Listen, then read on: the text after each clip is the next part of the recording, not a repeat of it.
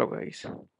So in the first chapter we have gone through introduction to the iphone application development including what are the tools and technologies we are going to use for developing the ios applications as well as what are the minimal requirements to get started with the iphone application development.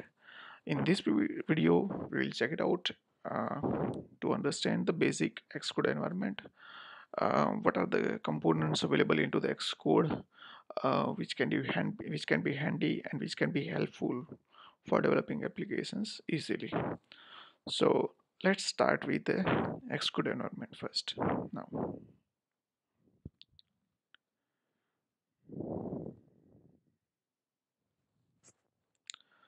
so here is the Xcode environment. Uh, as we can see, there are three options available. Uh, called three create new application existing project or open uh, clone the existing project.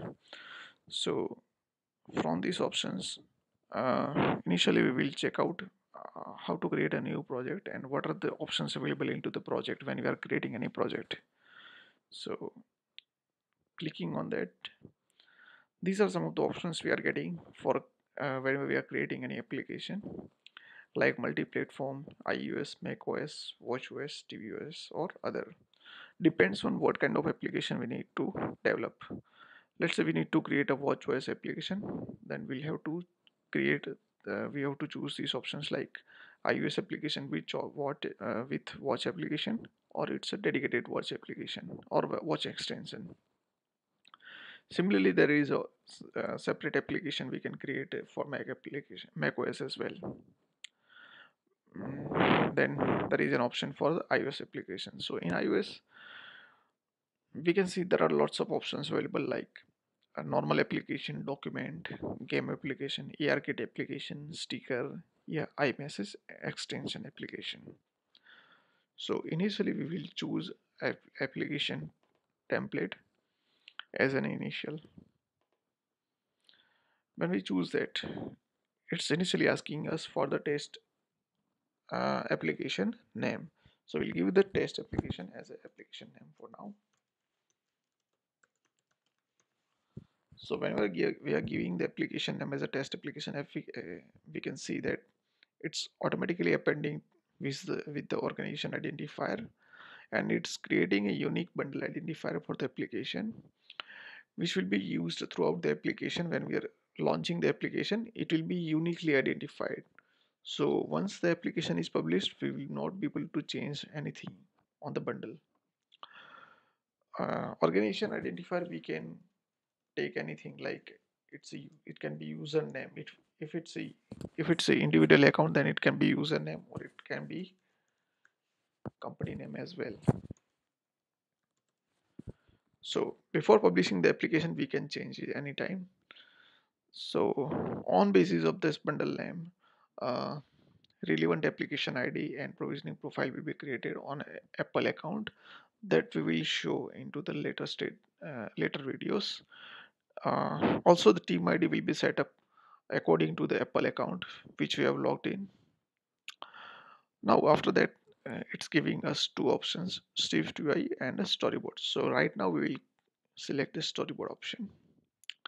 Lifecycle also we do have one option only UI kit uh, app delegator option so we'll select that language we have two, uh, two options here swift and objective c so right now we will uh, select the swift language only as it's more training right now. Then we have two checkmark optional options.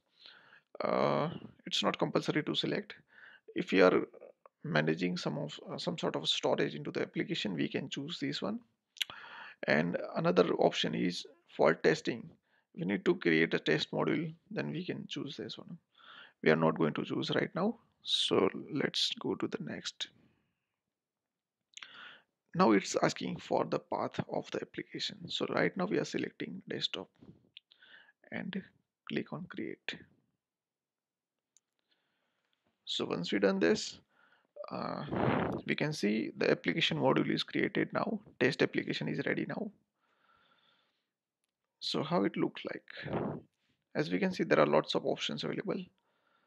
Uh, this is the file control application project and relevant files will be found on this left panel only. This right panel is inspector module where we can set up all the things like when we select the project we can change the project name we can select the latest xcode project format here. And the center part is the main part. We can hide the right module right now. Here it's asking for the iOS develop deployment target. So what we can do is whatever minimum uh, deployment target we need to select that we can choose from here only. Other than that this is the release target and this is the configuration settings we need to do uh, whether we need to uh, run the project in release mode or debug mode.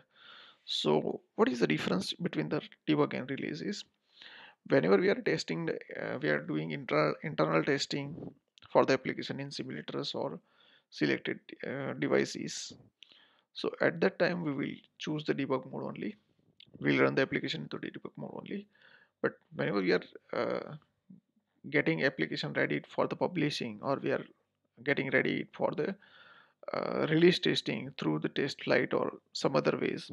So at that time we have to choose the release only here the uh, in edit scheme also need to choose the same only. Initially we are running for the debug mode only so we'll select the debug everywhere. Other than that there is a list of simulators available uh, which we need to select for testing the applications. So for these many simulators we can test the applications. Apart from that if any additional simulators required we can also add later on from here only. Now after that as we can see there is a deployment information available. From that we can select whether application is iphone ipad or mac supported or not. And main storyboard also we have selected here.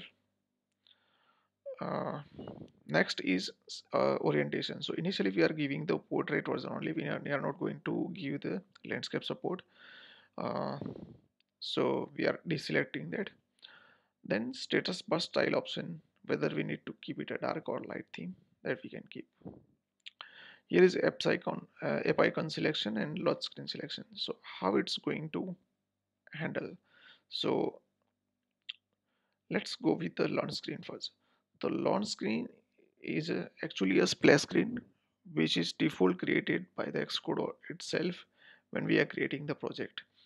Later on we can customize by adding the logo and color combination from the inspector module. Let's say we are selecting a view from here. So here all the properties available we can also choose the color and we can change it anytime. We can also add image control here uh, and we can add the uh, similarly we can add the logo uh, and customize the splash screen as well some of the other frame settings also we can do as per the requirement. So this is the splash screen. Now app icon how we can manage? So in assets by default they are giving the app icon asset uh, set uh, which we need to provide. These app icons are the size different size of app icons which will be going to use uh, either in a, a notifications either on a store listing.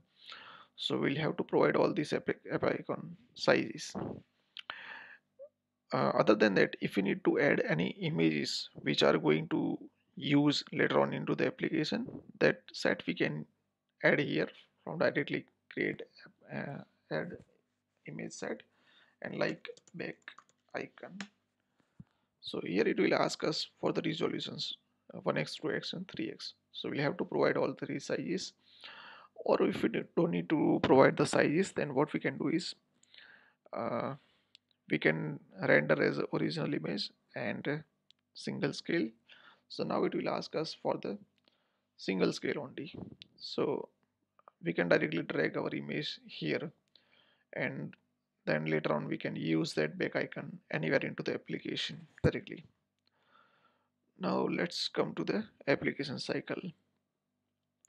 So whenever we are creating any project appdelegate.swift will be the default file that will be created and it will maintain the uh, application lifecycle as we as, as we can see there is first option that is read finish launching with options. Uh, this is the first method that will be going to call whenever we are launching the application for the first time into the device. So whatever validations and uh, conditions we need to put on while launching the application we can put there we can call that function from here only. There are also few other uh, lifecycle methods available which can go through here and we can use it anytime. So there are lots of methods available. These are the delegate methods. Delegate methods are the predefined methods which are predefined available and we can use it as per the, requirements next thing is a view controller. This is nothing but a, it's a single page they have because we have uh, created the app template. So in app template they are giving us a single by default a single page created. So this is the view controller page. Uh, like this we can create n number of pages like login page sign up page uh, home page. Like different different pages we can create and for that view controller will be created. So from here only the page will be controlled. From here we need to declare the variables and functions and all the validations we need to put here only for the particular page. And this will be the main dot storyboard. This will be the design part for all the pages. Whatever pages we are creating for that all the pages we have to create the design part here. So we can handle the design from here only we can connect it with the view controller and we can uh, add more controls here like button collection view listing slider images. These all options we can directly drag it here and we can directly connect with the view controller so it will be connected with the, our business logic. So here also we can add n number of view controllers which are going to connected with the pages here. Uh, apart from that there is a info.plist file. Here we need uh, we can give the permissions. Uh, suppose we need to give some of the permissions like location permissions uh, for camera per permissions for accessing the gallery permissions. That all permissions we can give from give from here only. Apart from that if you need to add any custom fonts that font properties also we can add here. Then the part is coming is signing and capabilities. From here onwards we can add more capabilities. The capabilities like uh, push notifications in-app purchases that's all capabilities we can add it from here. So this is the basic overview how it's going to give us our options and how we can utilize the Xcode for uh, making the better applications. In later video we will check how to make a simple hello world application and how, how to use the basic controls of the uh, Xcode and Swift. So that's all for this video. Thank you guys